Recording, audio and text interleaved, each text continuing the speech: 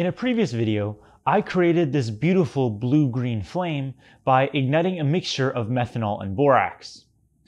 Unfortunately though, the flame got a bit out of hand and I wasn't able to put it out in time. That's why I'm not filming in my room anymore. Last time, I had reasoned that since humans breathe out carbon dioxide, I could use my breath to extinguish fires. That clearly didn't work.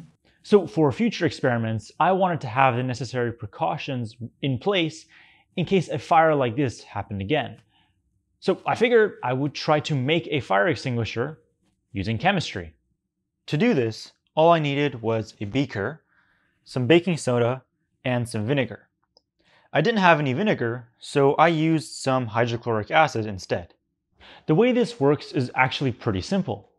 I react baking soda with hydrochloric acid and it produces CO2, which I can then pour over a fire to put it out.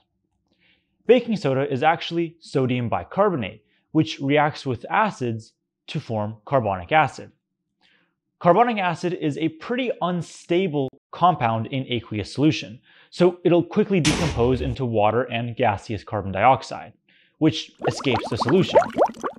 This is also why carbonated drinks fizz, it's the carbonic acid in them decomposing and producing CO2.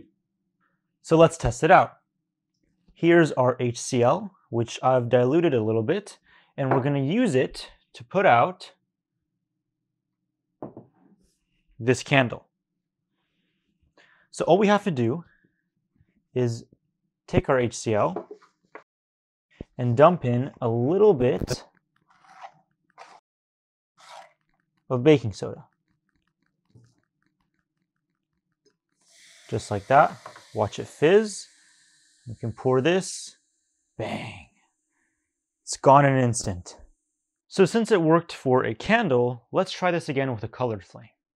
Here I've got a mixture of ethanol and borax in a watch glass here, and I'm gonna light it on fire. You can see it makes this nice blue flame. Now I'm gonna do the same thing I did for all of the other runs. Here we've got a hydrochloric acid, and I'll take a good amount of baking soda, dump it in there. Oh, seems like the flame turned more,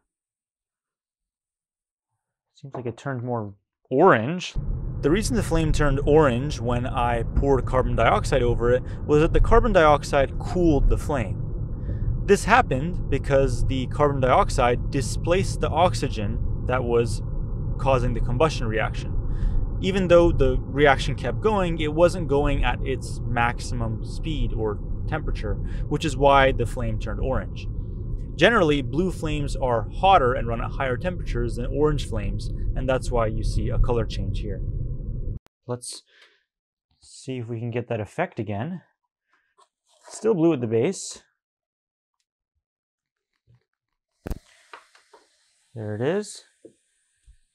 It's orange. Oh, and it got put out just like that. Let's see if we can run this flame up again. Yep, there's still something there. Pour it over and it's out.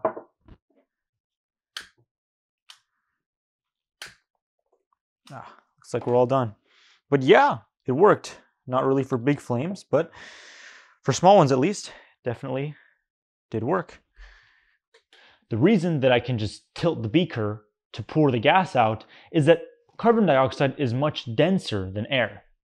CO2 is a much heavier molecule, so in the same way that dense objects sink to the bottom of a lake or a pool of water, the CO2 will sink to the bottom of the mixture of gases in the air.